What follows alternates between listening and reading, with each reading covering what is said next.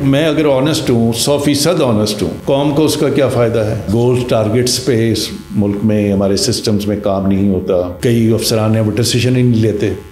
और इसलिए भी नहीं लेते कि अच्छा भाई ये स्कैंडलाइज हो जाएगा बिल्कुल उंगलियाँ उठेंगी बातें बनेंगी हमें कंट्रोवर्सी बन जाएगी इंक्वायरी हो जाएगी। वो अलामा इकबाल जिसको हमने वो कहता है अकाब बनो मैं कहता हूँ बटेरे बना दिए आपने। इसमें आपको लगता है ना किसी हद तक सोशल मीडिया का भी है कि अब आवाम बच्चे मोबाइलों पर लगे हुए हैं? कि वो एक कल्चरल चेंज है वो सिर्फ़ एक आर्किटेक्चरल चेंज नहीं। वो सांप और बिछुओं की जगह थी वाइल्ड ग्रोथ थी। आपको बताऊँ अगर यही शो बाहर कहीं होता ना तो ये बारह सौ डॉलर पे होता शाही हमाम जिसको यूनेस्को अवार्ड मिला। मैं आपको मौला जट फ़िल्म की मिसाल देता हूँ। जी जी वो तो है भी ये- नहीं बिलाल बाहर ज़्यादा कामयाब हुई। मुझे अच्छा नहीं लग रहा लेकिन इंडिया की अगर मैं मिसाल दूँ मुझे कभी यूँ लगता है हमने अपने आर्टिस्ट को उनको फ़कीर बना दिया है। इस पे कोई लीडर अल्लाह के फजल से बोलता ही नहीं है। इतने चली जा रहे हैं एक और चीज़ में तरक्की हो रही है। दो चीज़ें हैं जो एक्टिविटी इस मुल्क में सिर्फ़ वो हमारे माथे का झूमर बन चुकी हैं। एक पॉलिटिकल और एक रिलीजियस मेरे ख्याल से अंदरून लाहौर से ज़्यादा सेफ़ जगह कोई नहीं है। कोई जगह खूबसूरत या बदसूरत नहीं होती। उसको लोग खूबसूरत या ख़राब कर देते हैं। वालेकुम जी, हाफिज़ अहमद पॉडकास्ट में आज हम बात करेंगे लाहौर की। लाहौर लाहौर है, जिन्हें लाहौर ने वेख्या हो, जमिया नहीं इस तरह की बहुत सारी बातें होती हैं, लेकिन यहाँ पे हमारे साथ जो शख्सियत मौजूद है, उनके अपनी एक बहुत बड़ी इसमें काविशें हैं। पहले वो पीएचए में रहे अभी लाहौर वाल सिटी के डीजी हमारे साथ मौजूद हैं जनाब कामरान लशारी साहब। कामरान साहब thank you very much for your time sir सबसे पहले मुझे ये बताएँ कि आपको ये शौक क्यों है? यानी हमने देखा कि पहले आप पीएचए में वहाँ भी आपने बड़ा ज़बरदस्त अभी हम आगे डिस्कशन भी करेंगे डिफरेंट पार्क्स के ऊपर भी रेस कोर्स के ऊपर भी। तो क्या ये शौक था? शौक की वजह से करने या बस एक आ गए फ़ील्ड में तो आपने कहा चलो ज़िम्मेदारी मिल गई है तो कर लेते हैं. नहीं मेरा ख्याल है ये जो अंग्रेज़ी में पैशन कहते हैं हम्म। आप शौक कह लें ज़ौक कह लें एक जज्बा कह लें एक जुनून कह लें ये उस तरह की चीज़ है ये कोई ड्यूटी नहीं है। हम्म। बावजूद इसके कि ठीक है मेरा प्लेटफॉर्म जो रहा वो गवर्नमेंट जॉब है उसी ने मुझे ये इस काबिल बनाया कि मैं ये काम कर सकूँ उसी प्लेटफॉर्म से किया है। जैसे डिप्टी कमिश्नर रहा फिर ये पीएचए में रहा। हम्म, और वो पहला मैंने ही पीएचए को उस वक्त तश्कील दिया हमने। और फिर सी डी ए चेयरमैन और वर्ल्ड सिटी लाहौर अथॉरिटी वगैरह वगैरह। तो लेकिन इनमें आप किस नज़र से अपनी पोजीशन को देखते हैं और उसमें क्या जिद्दत लाना चाहते हैं क्या तख्लीक और जमालियात का आप में ज़ौक है? मेरा ख्याल है ये उस की तजस्स कह लें वो वो एक सफ़र है जिसको मैंने जारी रखा। कभी कोई मसले का सामना भी करना पड़ा? जिस तरह पाकिस्तान है जी जी इंक्वायरी लगी हो जी ये यहाँ पे ये ये तो मसला हो गया वो हो गया। ये तो अब हमारा बना दिया गया है क्या कहना चाहिए? मुकद्दर या एक एक माहौल। जी जी बिल्कुल। तो उससे तो कोई अब मबर्रा है नहीं। हम्म, हम्म, तो और ख़ास तौर पे जो काम करने वाला है और जो नए काम करने वाला है जी बिल्कुल। उसके लिए तो ये बड़े मुश्किल रास्ते होते हैं। हम्म, तो इन्हीं कांटों पे चलकर हमने वो रास्ते आगे मंजिलों तक गए हैं।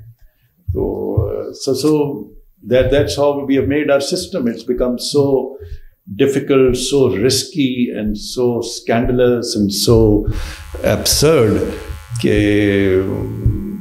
बहुत सारे तो अब इस रास्ते पे जाना नहीं चाहते। बिल्कुल ठीक है। वो वो एक अलहदा बहस है फिर वो रुख बदल जाएगा आपकी सारी गुफ्तगू का। अगर मैं उस तरफ़ चल पड़ा।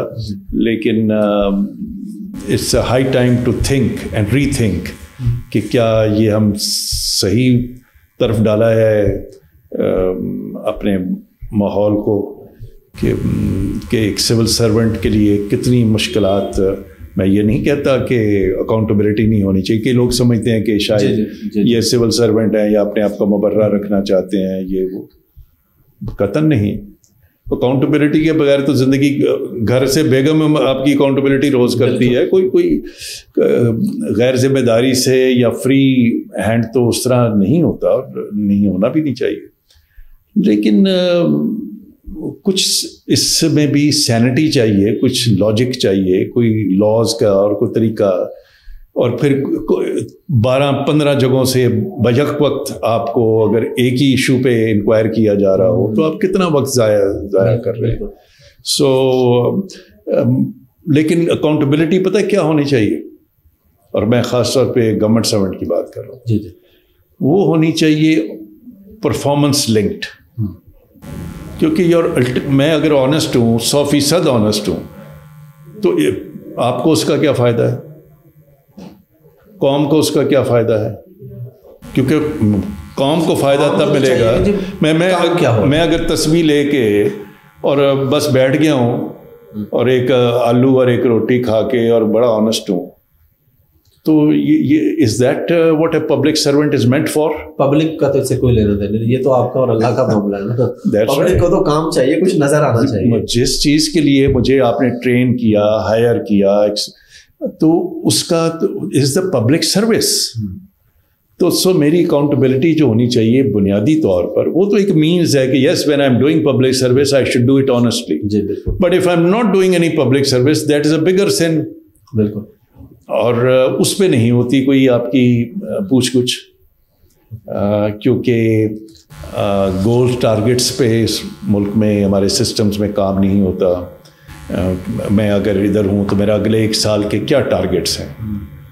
और फिर वो पूरे होते हैं या नहीं होते? समबड़ी शुड आस्क मी और अगर मेरी किसी ऐसी रीज़न से हुए हैं जो मेरी अपनी सुस्ती और काहली की वजह से हैं तो then I should be made responsible तो कई अफसरान हैं वो डिसीज़न ही नहीं लेते और इसलिए भी नहीं लेते कि अच्छा भाई ये स्कैंडलाइज हो जाएगा बिल्कुल उंगलियाँ उठेंगी बातें बनेंगी या भाई कंट्रोवर्सी बन जाएगी इंक्वायरी हो जाएगी।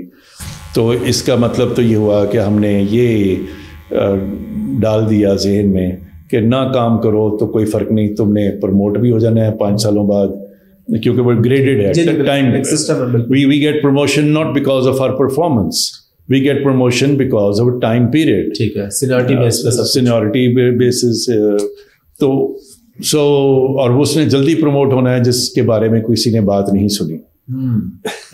यानी ये कह लेंगे जिसने कुछ नहीं कोई काम हाँ, नहीं किया तो खामोश तो ये ये रविश बदलने की बेहद ज़रूरत है कि मुल्क में जब तक काम मेहनत तख्लीक और एक जोश, जज्बा वो अलामा इकबाल जिसको हमने, वो कहता है, अकाब बनो और आसमानों पे चले जाओ और गुम्बदों पे तुम ये और वो बता रही उनकी तो एक इतनी पुरजोश शाहीन बनो। इधर मैं कहता हूँ, बटेरे बना दिए आपने। तो अच्छा सर, आज से पहले हम देखते थे, कोई भी इश्तहार आता है ना तो बिफोर आफ्टर उसमें होते थे या बालों वाले, गंजे, या पेट और ऐसे। आपने एक नया ट्रेंड निकाला कि आप लाहौर की बिफोर और आफ्टर पिक्चर्स वॉल सिटी का फेसबुक पेज पे बड़े एक्टिव आपकी टीम है। तो ये ख्याल आपको कैसे आया और ये आप कैसे मैनेज करते हैं? और मैंने बड़ी बड़ी खूबसूरत चीज़ें देखी। पहले जंगल है, आपने उसको पता नहीं क्या क्या निकाल के और ये फिर इतना बजट क्या आपको मिल जाता है मुश्किल पेश आती है? किस तरीके से मैनेज होता है?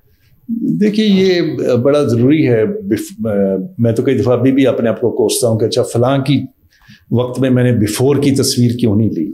हम्म। मसलन ये इसी लाहौर को ले लीजिए जहाँ पर अब मेट्रो बन गई बहुत सारे चेंजेस आ गई हैं ओवर पास अंडर पास ट्रेन आ गई ये हो गया।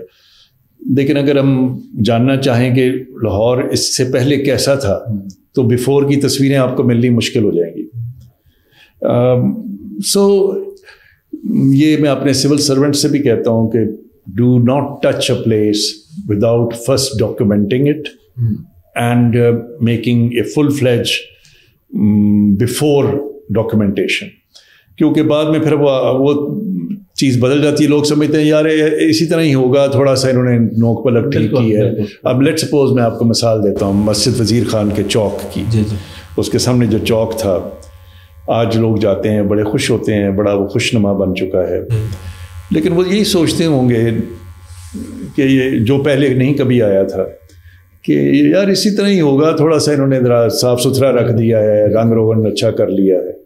अगर मैं आपको बताऊँ और उन तस्वीरों से उसकी बिफोर की हालत तो आप यकीन करें ये कहेंगे ये एक मोजसे से कम नहीं। मैंने खुद बहुत सारी चीज़ें देखी हैं अभी आने से पहले मैंने खास मैं उस जगह की खास तौर पे इसलिए बात कर रहा हूँ कि वो एक कल्चरल चेंज है वो सिर्फ़ एक आर्किटेक्चरल चेंज नहीं है। अच्छा। कि वहाँ जहाँ खोते घोड़े बधे होते थे फकीर बैठे होते थे पानी के खड्डे पड़े हुए हैं और वैन्स और रेडियाँ लोगों ने रखी हुई हैं वेल्डर बाहर जो है खरादिए का काम कर रहे हैं ये वज़ीर खान मस्जिद की दहलीज पे ये सारी चीज़ें। आज आप जाइए, दुनिया ही बदली हुई है। इतनी साफ़ से, वो लगता है आप किसी इटली में या स्पेन में आके बैठ गए उस उस चौक में। तो लेकिन इसके लिए सिर्फ़ पैसा नहीं दरकार, क्योंकि उस तरह तो वो छोटा सा प्रोजेक्ट है, कोई ताजमहल तो नहीं हमने बनाया, बहुत छोटी चीज़ है। लेकिन इस लिहाज से बहुत बड़ी चीज़ है कि ये कल्चरल चेंज है। लोगों की हैबिट्स को बदलना लोगों के माहौल को, लोगों की सोच को और एक गुंजान आबादी में एक इतना चेंज लाना, ये ये एक so so it's very important before and after ताकि लोगों को समझ लगे कि जहाँ पहले ये शाही बावर्ची खाना ले लीजिए जो हमारे किले में है, इसका किसी को पहले पता भी नहीं था। जब मैंने देखा तो वो सांप और बिच्छुओं की जगह थी बड़े बड़े वो वाइल्ड ग्रोथ थी। तो चालीस पचास साल से बंद पड़ा था। तो अब आप जाइए वहाँ पर टॉप मोस्ट कॉरपोरेट डिनर होते हैं वहाँ पर सूफ़ी म्यूज़िक होता है दास्तान गोई होती है वो शहर की एक बेहतरीन तो वो तभी पता चलता है जब आप उसकी पुरानी तस्वीर देखते हैं कि ये क्या मेहनत हुई है। अच्छा एक और आपका बड़ा ज़बरदस्त डिफरेंट है जैसे वेख लाहौर हिस्ट्री बाय नाइट्स अभी ये कोई इसके बारे में जरा थोड़ा सा बताएँ कि क्या है ये बारह सौ रुपये टिकट रखी है पब्लिक के आके वो क्या मिलेगा देखने को उसमें क्या कुछ होगा कितने टाइम का होगा? मैं आपको बताऊँ अगर यही शो बाहर कहीं होता ना जी जी। जिसको तो ये बारह सौ डॉलर पे होता। अच्छा। या कम से कम पाँच सात सौ डॉलर तो ज़रूर होता। ठीक है। तो हम तो बारह सौ रुपये में ये पूरा किला पूरी हिस्ट्री में पहली दफ़ा रोशन किया गया है। पब्लिक के लिए। ठीक है। पहले मगरब से किला हमेशा बंद होता आया है और तभी खुलता था जब कभी कोई स्टेट डिनर कोई बादशाह सलामत आए हैं कोई शहजादा आया है तो एक दिन के लिए रोशन करके वहाँ पर स्टेट डिनर होता था। ठीक है। ये आज हमारे इस महकमे को वर्ल्ड सिटी लॉ अथॉरिटी को ये एजाज़ है कि हमने आम लोगों के लिए पब्लिक के लिए उसको रोशन किया है। पूरे कॉम्प्लेक्स को विच मीन हजूरी बाग दोनों जो मस्जिद है फिर साथ रंजीत सिंह की माड़ी है और किले की मुख्तलिफ़ जगह हैं। और उसमें एक टूर डिज़ाइन किया है। ठीक है। वो हफ़्ते वाले दिन बारह सौ रुपये का टिकट बुकिंग होती है। और पिछले चार पाँच साल से ये चल रहा है और नहायत कामयाब है। एवरेज कोई तीन सौ लोग वीकली आ जाते हैं। हमें बहुत ज़्यादा लोग चाहिए भी नहीं बल्कि उस पर फिर हम बंद कर देते हैं। तो वो एक स्टोरी बिल्ड होती है कि आप बादशाह सलामत से मिलने जा रहे हैं। बाहर घंटी बजती है कौन आया है क्यों आया है कि जामा तलाशी लें दरबान आपको लेके जाते हैं। उसी तरह जिस तरह जी जमाने में तो वो एक उस तरह की शाही मेहमान आप बनते हैं। तो दरबान जो हैं, अपने कॉस्ट्यूम्स पहने हुए, आपको मुख्तलिफ़ इलाकों से घुमाते, फिराते, बताते हुए ले जाते हैं, फिर रंगीले रिक्शे पर बैठाते हैं, फिर आगे एक कथक डांस एक होता है, उधर पोडियम ऑफ़ शीश महल पे, और फिर एक सूफी म्यूज़िक है दी शाही बावर्ची खाना, और कुछ छोटी सी रिफ्रेशमेंट है, वगैरह वगैरह। So people are so happy ये ढाई घंटे का एक प्रोग्राम बड़ा ज़बरदस्त प्रोजेक्ट है। अच्छा आपने अभी बात की थी कुछ देर पहले कि जो जगह पहले खराब थी अब आपने बहुत अच्छी करके वहाँ पे कॉर्पोरेट डिनर या कॉर्पोरेट इवेंट्स होते हैं। तो ये किस तरह मुमकिन है? अगर एक कोई आम आदमी को भी वहाँ पे कोई इवेंट करना चाहे लाहौर वर्ल्ड सिटी में उसका क्या प्रोसेस होता है? क्या चार्जेस वगैरह होते हैं? हमारी हर बंदा कर सकता है। बिल्कुल कर सकते हैं। हमारी वेबसाइट है। अ, उस पर आप जाएँ तो आपको इलेक्ट्रॉनिकली पता चल जाएगा कौन कौन सी साइट्स हैं अवेलेबल हैं कितने पैसों से अवेलेबल हैं। और वरना हमारा ऑफ़िस तो मौजूद है और अब लोग रोज़ाना बुकिंग करवा रहे होते हैं। हमने कुछ साइट्स मकर कर रखी हैं जो हम समझते हैं कि सोशली कल्चरली उनको एक्टिव होना चाहिए। पूरे किले को तो नहीं हम करते ना करना चाहिए लेकिन उसकी एक दो स्पेसेस ऐसी हैं जो पहले नो गो एरियाज़ थे उनके ओपन कोर्ट यार्ड्स हैं जैसे ये शाही बावर्ची खाना है इसका एक ओपन वेड़ा कोर्ट यार्ड है।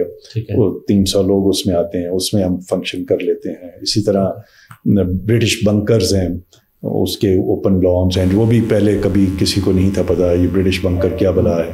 ये एमिनेशन डिपो था इनका अंग्रेज़ों का जब तो उस एरिया को भी हमने मलबे में घुसा हुआ था ठीक करके तो ओपन अप किया है। ताकि कुछ ना कुछ देखिए इसको अंग्रेज़ी में कहते हैं अडेप्टिव रीयूज कि you have to put your buildings to some adaptive reuse of course without changing their form और दिस दैट लेकिन so as to derive some money out of it also कि जब तक एक कोई भी प्रोजेक्ट कोई भी चीज़ चाहे आपका ही ये पॉडकास्ट ही क्यों ना हो unless it is making money तो आप ज़्यादा देर इसको कायम नहीं रख सकते। बिल्कुल। ठीक है। ना? तो वो ज़्यादा काम कर सकते हैं। सो इसको सस्टेनेबल बनाने के लिए कहीं ना कहीं से इसकी वो वैल्यू भी कमर्शियल भी आनी चाहिए। तो ये हमने शाही हमाम के जो बाहर कोर्ट यार्ड है उसको भी एक्टिव रखा है। बस वज़ीर खान के बाहर जो बड़ा कोर्ट यार्ड है उसको रखा हुआ है। और इसी तरह किले के अंदर एक दो जगह हैं। बाकी जगहों को इस तरह यूज़ नहीं करते। ठीक है। और आपका ज़ाती एक्सपीरियंस क्या है? या आपकी टीम क्या बताती है कि जहाँ पे जो लोग आते हैं ज़्यादा लोग लाहौर के होते हैं या लाहौर से बाहर के लोग इसमें ज़्यादा दिलचस्पी लेते हैं? मेरे ख्याल से बाहर के लोगों में ज़्यादा दिलचस्पी है और वो ही लाहौर के लोगों को भी साथ लेकर आते हैं। हाँ, जिसका कोई ना कोई मेरे मेहमान बाहर से आए हुए हैं। तो वो उनको कहते हैं वो उधर जाना है हमने। तो कई दफ़ा चिराग तले अंधेरा होता है और हमारे हम्म। मुल्क में मैं आते आज मीटिंग की है एक school teachers of Lahore walled city. उनको बुलाया हुआ था। मैं मज़े की बात आपको बताता हूँ। क्योंकि मैं मुझे मेरी छठी हिस्स कह रही थी कि अभी स्कूल के बच्चों ने वर्ल्ड सिटी के कोई तीस स्कूल हैं। ठीक है। उन्होंने भी अभी वर्ल्ड सिटी को नहीं देखा। अच्छा। यानी हमारे प्रोजेक्ट्स को नहीं देखा। ठीक है। शाही हमाम जिसको यूनेस्को अवार्ड मिला है दुनिया देखने आती है तो वहाँ के बच्चे क्यों नहीं देखते? जब मैंने टीचरों से बात की तो उनमें से पंद्रह थे तो बारह के करीब उन्होंने खुद नहीं देखा हुआ था। वो रहायशी हैं उधर के वर्ल्ड सिटी के। अच्छा। वो कहते सर असी तो नहीं आप नहीं वेख्या तो बच्चों की गल कर दो। सो ये बड़ी अच्छा मैं आपको बताऊँ मैंने खुद ये लाहौर वॉल सिटी जो है ये कुछ तीन चार महीने पहले देखा है। वो भी मेरे अमेरिका से गेस्ट आए थे उन्होंने कहा जी हमने जाना है। मैंने फिर एक दोस्त को कहा ये तो फिर हमने जरा अच्छे तरीके से सारा। ये बिल्कुल हकीकत है हमें तीस साल हो गए लाहौर में रहते हुए लेकिन इस तो तरह से कुछ हमारे कल्चरली इन चीज़ों पर गौर करने की कोशिश करता हूँ। You know what is the problem कि हमारे लोग जो हैं वो कल्चर से उतने करीबी जुड़े हुए नहीं हैं। बाहर के लोग मैं मैं आपको मौला जट फ़िल्म की मिसाल देता हूँ। जी जी वो तो है भी ये, ये नहीं बिलाल बाहर ज़्यादा कामयाब हुई। बिल्कुल। अच्छा why not here more than that why not here क्योंकि और बहुत सारे आप लोगों को मिलेंगे जो कहेंगे यार हमने बड़ी तारीफ़ सुनी है। वो हो मेरे बच्चे भी देख आए हैं फला ने भी बड़ा बताया बहुत मुबारक हो। अगर आप पूछते हैं आपने देखी है? नहीं मैंने अभी तक नहीं देखी। अच्छा आगे अगर एक चीज़ की आप तारीफ़ भी सुन रहे हैं वो कोई भी हो कोई गाना हो ड्रामा हो फ़िल्म हो तारीखी मुकाम हो तो क्या आपको फिर वहाँ जाना नहीं चाहिए? और अगर फिर भी नहीं आप जाते जो जिसको यूनेस्को अवार्ड मिला है शाही हमाम को तो और हम क्या करें फिर उसको सर पे उठा लें कैसे लोग आएँगे? और अगर अपने ही लोग नहीं आएँगे हम्म।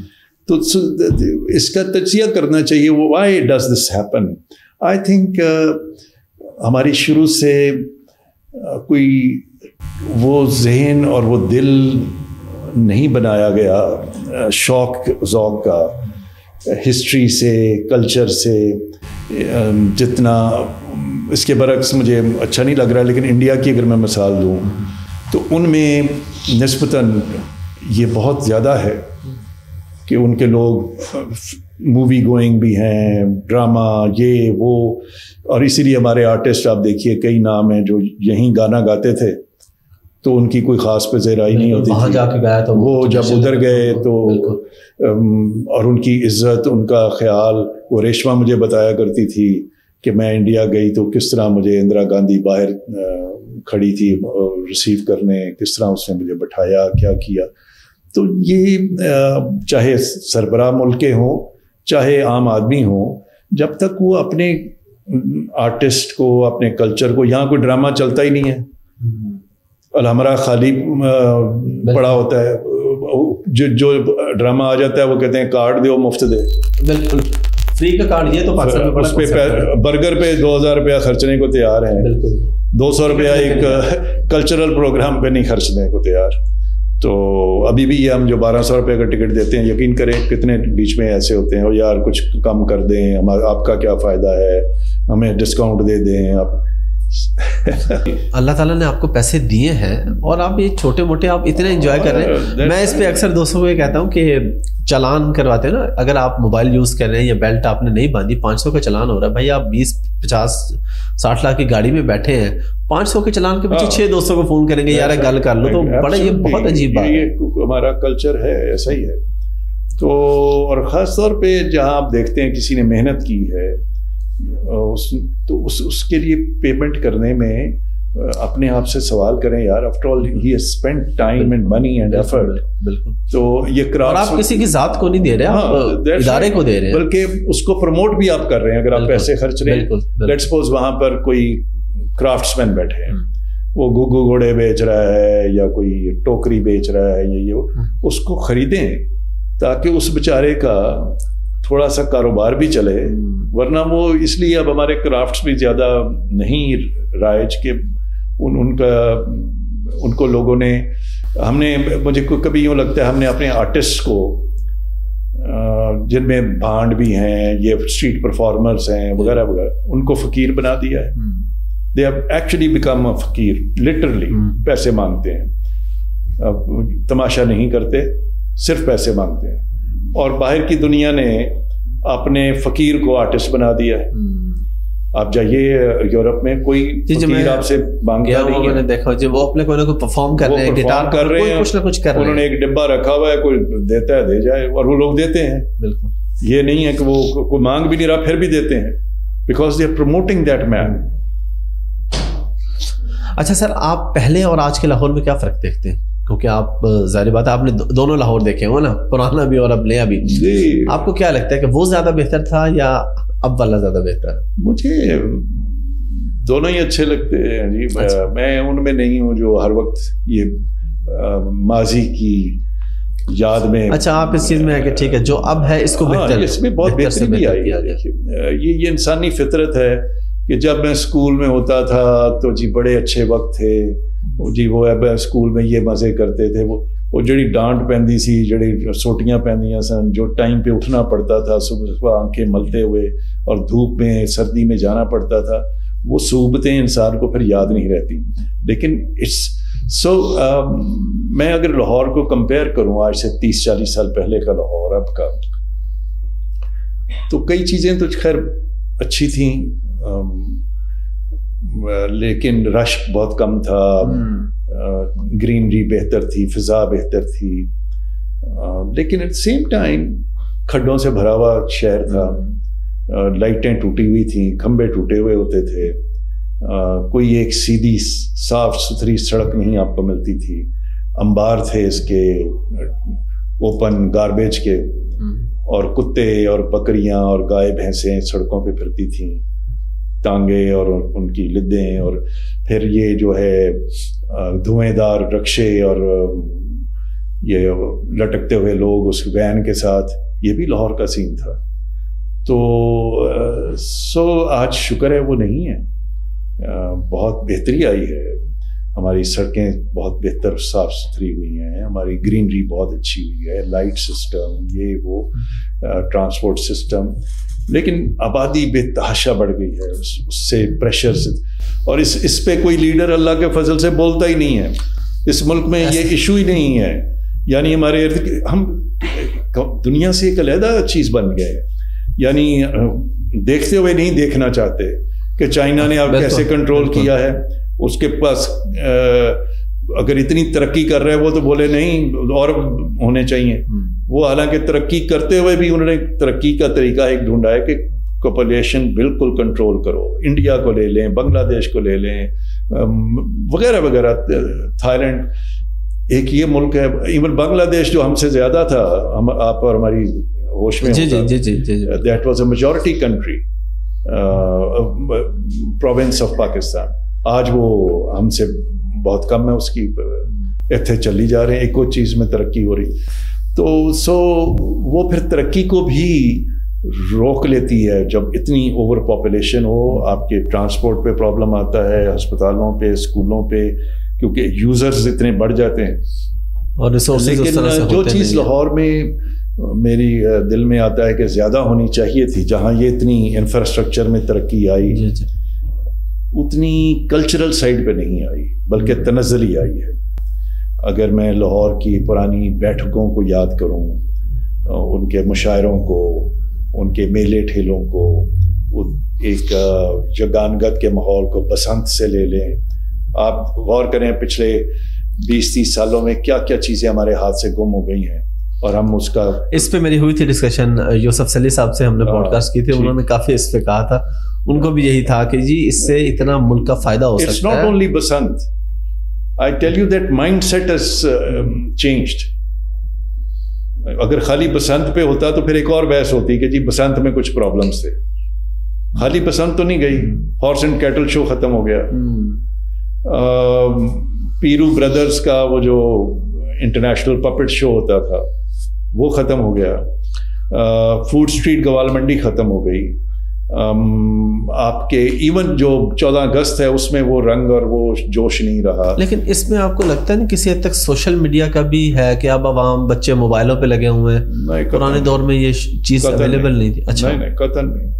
अच्छा आप समझते हैं कि ये माइंडसेट या ये ये, एक एजुकेशन का। नहीं नहीं ये आप गौर करें कि दो चीज़ें हैं जो एक्टिविटी इस मुल्क में सिर्फ़ वो हमारे माथे का झूमर बन चुकी हैं। एक पॉलिटिकल और एक रिलीजियस हम्म, उनमें तो कोई कमी नहीं है। उनमें तो सोशल मीडिया पे चाहे कितना भी आता है लेकिन नहीं। जुलूस भरे हुए हैं जलसे भरे हुए हैं। उस वक्त ना सिक्योरिटी का कोई फ़र्क आता है। आप एक सर्कस कर रही हो आपको कोई इजाज़त ही नहीं देगा क्योंकि जी सिक्योरिटी इशू है। आपने कहा एक पॉलिटिकल जलसा करना हो आपको इजाज़त लेने की ज़रूरत भी नहीं है। आप धनाते धनाते जिधर मर्ज़ी करें। सो ये सिक्योरिटी के नाम पे और कोई और मजहबी चीज़ बना के तो जिसका सबसे ज़्यादा जिस पर आया है एक्स जो है कुल्हाड़ा जो गिरा है जी, जी। वो है ऑन सोशल कल्चरल एक्टिविटीज़ तो वो हमारे हाथ से आहिस्ता आहिस्ता खो गई हैं और अब आपको दुबई मिल गया है उधर चले जाओ अपने मुल्क में समझ नहीं आती कि what do you have to हालाँकि हमारे मुल्क में बहुत कुछ है। बहुत कुछ अच्छा है। मैं इस हवाले से आपसे भी सिक्योरिटी की बात हुई थी लेकिन इससे हट के मेरा अलग ये सवाल है कि फैमिलीज़ के लिए कितना सेफ़ है? अगर फैमिलीज़ यहाँ पे आए वॉल सिटी जैसे मीनार पाकिस्तान मेरे आपको पता पहले वाक्य भी हुआ इस तरह के। कहा वो पुराना एक वाक्य लेकिन जिसमें वो कुछ लफंगे लड़के ग्रुप्स बना के आ जाते हैं तो ऐसे लोगों को कैसे कंट्रोल वो किया भी उधर मीनार पाकिस्तान का एक वाक्य है जिसके कई वर्जन हैं। जी जी। वरना रोज़ाना मीनार पाकिस्तान खुला है हज़ारों लाखों लोग जाते हैं। ठीक है। ऐसा वाक्य नहीं होता। ठीक है। मेरे ख्याल से अंदरून लाहौर से ज़्यादा सेफ़ जगह कोई नहीं है। ठीक है। आप फैक्ट्स फिगर्स ले लीजिए। कभी नहीं आपने सुना होगा बसंतें होती रही इधर। जी जी। कई साल। कभी आप और बड़े बड़े फैशनेबल लोग और लड़कियाँ जाती रही खातन छतों पे घरों पे। अंदरून लाहौर के लोग कमाल के लोग हैं इस लिहाज से। वो अम, बहुत रिस्पेक्ट देते हैं। मोहल्लेदारी के वो लोग हैं। वो गर्मजोशी के मोहब्बतों के उन्होंने कभी कोई आपने छेड़खानी का या लड़ाई मार कुटाई का नहीं सुना होगा वाक्य और अब भी हमारे बहुत टूरिस्ट रोज़ाना जा रहे हैं गर्ल्स कॉलेजेस हैं फॉरेनर्स हैं फैमिलीज़ हैं कभी मुझे ये कंप्लेंट नहीं आई कि जी अच्छा। उनको किसी ने तंग किया है इन्हें फिर फैमिली को आना चाहिए ऐसी चीज़ें चाहिए कि वो आ चाहिए। रही हैं अच्छा। आप आप देखें तो सही तरह फेसबुक पे या it's only the families are coming नहीं मैंने भी फैमिली के साथ ही किया। हाँ। मैं मजीद लोगों से कहना चाहूँ कि लोग आए। और बड़ी खुशी से और बेधड़क आना चाहिए। अच्छा हमें बस लास्ट एक दो क्वेश्चन है। एक तो हमें हॉप ऑन हॉप ऑफ़ बस के बारे में थोड़ा सा बता दें। ये कॉन्सेप्ट बाहर तो हम वैसे तो that is with the TDCP मेरे जी। बैंक के पास नहीं जी जी। Tourism develop but it's a very good concept और बहुत अच्छा किया हुकूमत ने और टीडीसीपी ने। जो इसको इंट्रोड्यूस किया इसकी बड़ी ज़रूरत थी और लोग बड़ी खुशी से इसको यूज़ करते हैं और जितना भी इसमें इसको ऑर्गेनाइज किया जाए उतना ही अच्छी बात है अच्छा सर मौला जट की बात हुई तो आपकी क्या फीलिंग थी जब ये इतनी कामयाब हुई और क्या आपको उम्मीद थी कि इतनी कामयाब होगी जित और बीइंग अ फादर आपकी क्या फीलिंग्स थी इस हवाले से I am very happy, of course, as a father. It makes me extremely happy and proud, and more than that, humble and grateful. Um, मैं uh, जितना भी शुक्र खुदा ताला का करूँ क्योंकि अल्टीमेटली कामयाबी जो होती है इंसान की ठीक है मेहनत बहुत उसमें दरकार होती है टैलेंट भी होता है लेकिन कबूलियत जो होती है वहीं से होती है सो उस ख्याल से मैं बहुत ज़्यादा खुदा ताला के बरगाह में हमेशा शुक्र करता हूँ दूसरा अब ये कामयाबी का आई कुड मेक आउट कि ये एक बहुत डिफरेंट टाइप की फ़िल्म बन रही है। बड़ी मेहनत से उसकी जो नोक पलक और टेक्नोलॉजी ये और ये ज़रूर फिर हम आपस में बात में किया करते थे अच्छा अभी बेस्ट फ़िल्म ने कितना बनाया है? कोई पचास करोड़ या साठ। करोड़? तो ये चलो डबल कर लेगी कुछ साठ करोड़ सौ कर लेगी एक सौ बीस कर लेगी। सो ज़ाती तौर पे तो मैं I was aiming at that but I think Bilal was aiming at much more उस उसके दिल दिमाग और आपको जानकर हैरत होगी कि जो मांडवी वाला साहब है जिन्होंने जो डिस्ट्रीब्यूटर है जी जी वो अ, एक दिन वो फ़िल्म देखने हमारे घर पे ही आ गए अभी फ़िल्म रिलीज़ नहीं हुई अच्छा तो उन्होंने जब उस देखी तो वो सर पकड़ के बैठ गए कहते हैं यार अब मेरे लिए तो बड़ी मुश्किल हो गई है बड़ा कंफ्यूजन हो गई है। तो मैंने तो एक स्ट्रेटजी बनाई थी इसकी डिस्ट्रीब्यूशन की वो सारी खत्म हो गई। हम्म, तो उनसे पूछा भी क्या मतलब आप क्यों? कहते हैं इशू ये है कि मुझे अब समझ नहीं आ रही where to place this film इसकी इसको this can go to any level कहते हैं मेरी चालीस साल का तजर्बा है फ़िल्में मैं डिस्ट्रीब्यूट करता आ रहा हूँ देखता आ रहा हूँ और समझता हूँ फ़िल्म को। मैं इस फ़िल्म को अब अब मुझे इस किस्म की नज़र आ रही है इसमें potential so it had a potential always but personally speaking I never thought it will go to that high level अच्छा यहाँ तक नहीं। थी मैंने खुद भी देखी है फैमिली के साथ देखे हूँ बड़ी ही ज़बरदस्त चीज़ है। आ, बस लास्ट पे आप कोई मैसेज देना चाहें यंग जनरेशन को खास तौर पे? मैं भी मैसेज यही देना चाहता हूँ कि पाकिस्तान, हम जिस कहते रहते हैं, बहुत खूबसूरत मुल्क है। और ऐसे इसके मौसम, पहाड़, ये, वो, और बाकी दुनिया के बेहतरीन पहले दस मुल्कों में से इसको किसी जाविये से ऐसे देखें आप, मादनियात से, मौसमों से, पहाड़ों, दरियाओं से it should be one of the top countries of world लेकिन कोई भी जगह को कोई जगह खूबसूरत या बदसूरत नहीं होती या ख़राब नहीं होती। उसको लोग खूबसूरत या ख़राब कर देते हैं। ये बड़ी खूबसूरत बात की आप ठीक है? So ultimately it's not the place it's the people who matter आप एक गंदी सी गली को भी दुनिया की अजीब तरीन खूबसूरत तरीन और और अल्हम्दुलिल्लाह आपके सामने ये सुरजन सिंह गली है, ठीक है वो वायरल हो गई वो दुनिया उसको देखने आती है। ग्वाल मंडी नो गो एरिया था जब फ़ूड स्ट्रीट बनी वो क्या बन गई? और एक अच्छी से अच्छी चीज़ को आप खराब और गिरा सकते हैं खत्म कर सकते हैं बदसूरत बना सकते हैं। And who does it it's the people so we should become beautiful and how can we become beautiful is through good mind, good intentions, good work. So that is my message. Thank you very much for your time. Thank you.